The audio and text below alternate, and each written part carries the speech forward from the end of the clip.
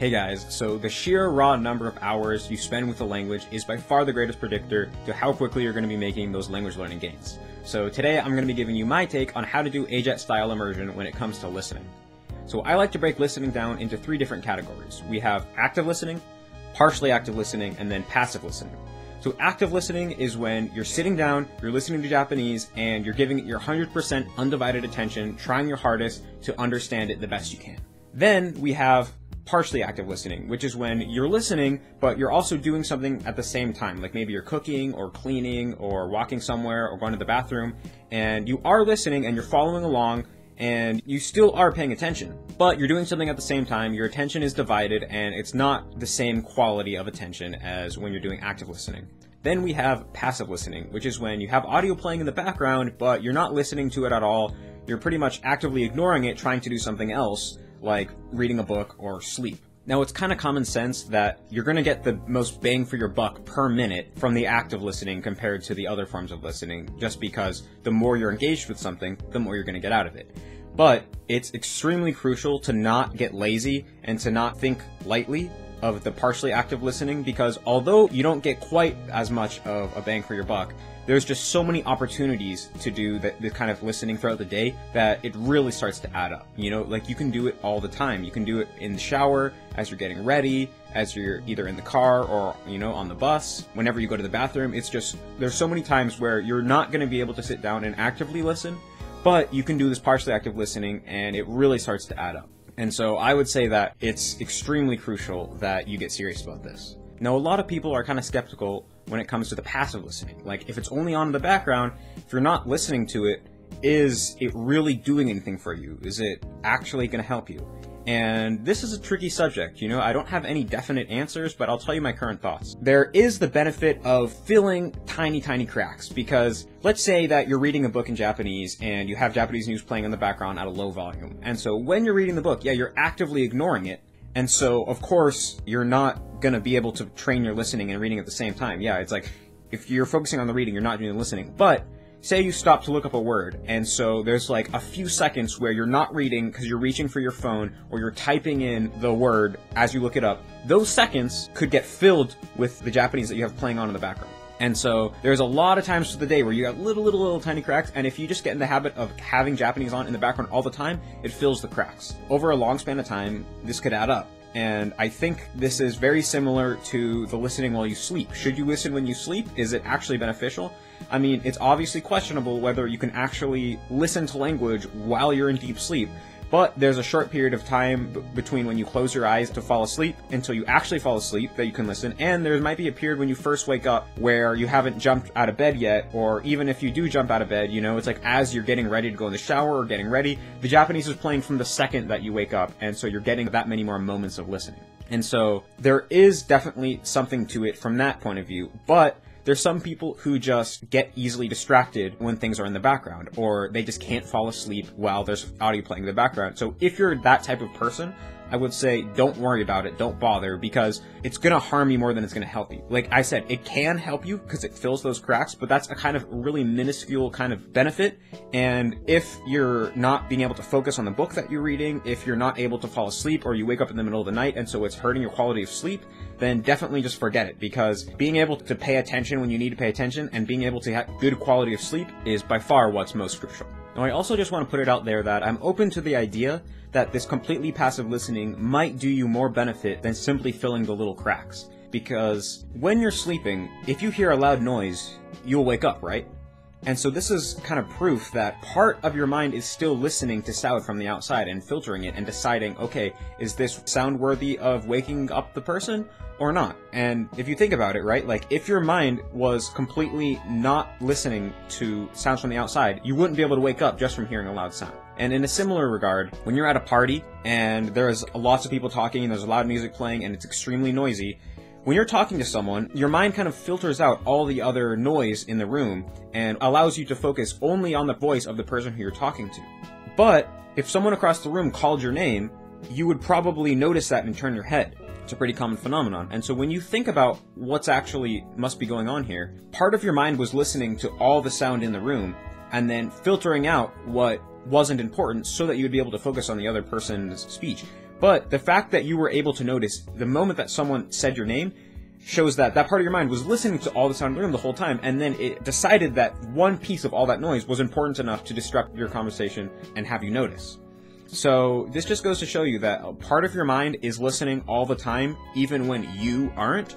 And I think there might be a possibility that if you have Japanese on in the background all the time, especially if you already got the gears turning from doing the active listening and you got the gears turning even more from doing lots of the partially active listening, then maybe this passive listening would just keep the gears turning a little bit more just because that part of your mind is listening all the time and it's already engaged with the task of understanding Japanese. Just to explain what I mean when I say that the gears are turning, you know that phenomenon where maybe you're trying to solve a problem and you just can't think of a good answer, and you go to sleep and wake up and suddenly you know exactly what to do.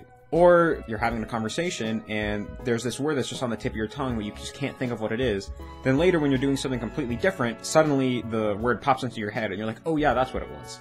So this just kind of shows you that, similar to the listening, even if you're not engaged with something consciously, your unconscious mind is still working on problems that are relevant to you all the time underneath the surface.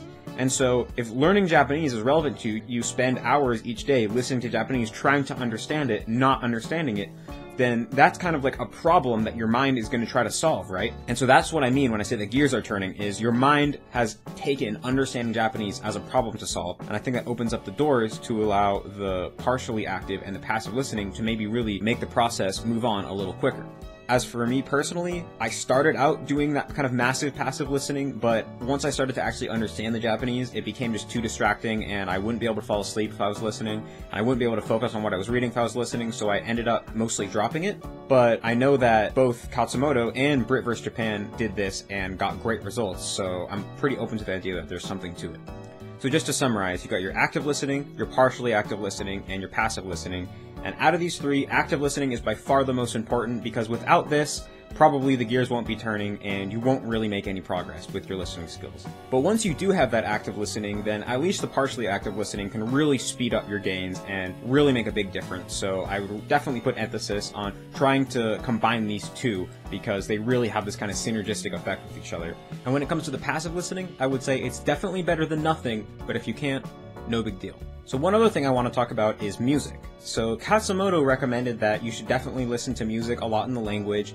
He really made it sound as if listening to music was just as useful as listening to podcasts or the news or, or the audio from anime. And I don't think this is true at all. I think listening to music in the language is more similar to how Khatzumoto said he used to eat cake with chopsticks just kind of gets you in the mindset of I'm Japanese, I'm part of Japanese culture, and there is a lot of benefit that comes from that. It is really important to kind of have an affinity with the language, to really, you know, get into the mindset of that you're almost like a spy making your way into the other culture. But let's be real, listening to music is not nearly as beneficial as listening to actual spoken audio in the language. The way that people sing and rap in Japanese is nothing like the way that people actually speak. Not to mention that most of the time when you're listening to music, you're not even really paying that close attention to the lyrics, you're kind of just jamming out. So my conclusion when it comes to music is just like the passive listening, it's definitely better than nothing. If you're gonna choose between either listening to an English podcast or a Japanese song, I would definitely choose the Japanese song. And it's great to listen to Japanese music every once in a while because you get that cultural affinity aspect I was talking about before. But if you want to make maximum gains, then you gotta listen to actual spoken Japanese. Now let's talk about some of the more technical details when it comes to how to actually do this listening. So when it comes to the partially active listening and a lot of the passive listening, I highly recommend getting a separate MP3 player that's not your phone.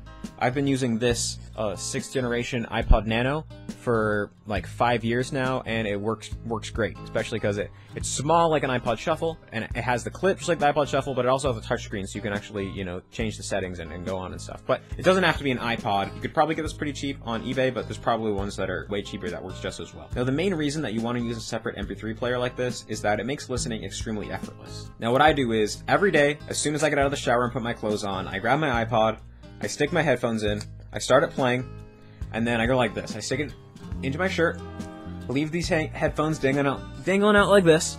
I put the iPod in my pocket and I leave it playing all day. I never pause it. And whenever I have a moment, I just take a headphone and I pop it in and I listen, even if it's only for 10 seconds, 30 seconds, and I never pause it. And so it makes listening extremely effortless. All you have to do is, is take your hand, grab the headphone, and put it in. That's it.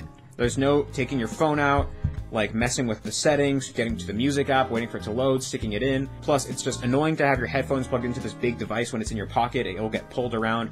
If someone calls you, the audio is going to stop playing and you're going to have to reset it later. Plus, also, if it's your phone, it's much more tempting to listen to things that aren't your Japanese immersion, to listen to more music, to listen to something in English. The easier something is, the more likely it is you're going to do it. So it's very important to make this listening as easy as humanly possible, and I am convinced that this is the way to do it. And when it comes to the sheerly passive listening, another possible strategy is getting a, a separate computer just for listening and having the Japanese TV running like 24 hours a day and never pausing it. The key is to never pause because that's what makes it so effortless. If you have to go and turn it on every time, it's a lot more likely that you're going to start skipping out on it. Now last, I want to talk about what you should actually be listening to. Now, the only real guideline is by natives for natives. As long as it's real Japanese, anything is fine. But there's two, a couple things you want to take into account. So obviously, the closer it is to your level, the more you're going to benefit from it. If it's just so hard that it's complete gibberish, that's not as useful. Also, when it comes to the partially active listening and the passive listening, it's much more useful to listen to something that you've already actively listened to in the past. And this is because even if you're not paying that much attention, because, you know, you're doing something else like cooking or cleaning, since you've already listened to it once, you already know what's going on in the show. And so even if you miss a few minutes or you put it in right in the middle of a show, you'll know exactly what's going on. And there's also the benefit of if you're listening to the audio from a show that you've watched, just from listening to the audio, you can kind of see the show in your mind's eye, and it's almost like you're watching the show a second time. And so I find it actually extremely entertaining to listen to shows that you've already seen once before, and this is extra beneficial if you're a beginner who can't understand that much yet, because that way, even if you don't understand very much of the Japanese, just from the sound effects and stuff, you'll be able to tell what scene it is in the show, and so you can still have a basic gist of what's going on, even if you can't understand the actual Japanese. Plus, also in general, repetition is beneficial for language learning, and the more chances you get to understand something, the more likely it is that you'll actually learn something.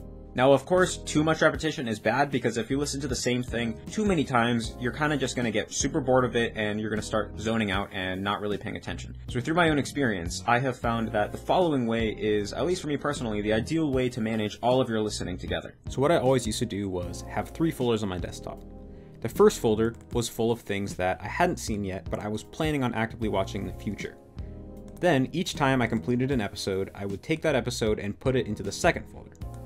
So then, after around a week, when this folder would get nice and full of all the things I'd seen that week, I'd use subs2srs to take the audio out of all those shows and make a folder full of the MP3s.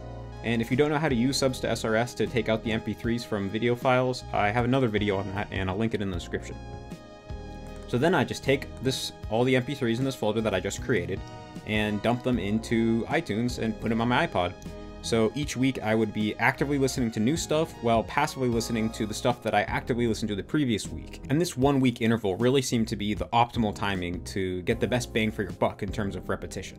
And I also just wanted to say that a lot of times there are people who, when they hear about immersion, they make complaints like, well, you know, sometimes I just want to enjoy some nice silence. And that's totally cool. You can enjoy some nice silence every once in a while. I'm not saying you can't make exceptions. These are just general principles because the more you listen, the better you're going to get. So that's all for me. Hopefully this was useful to you guys.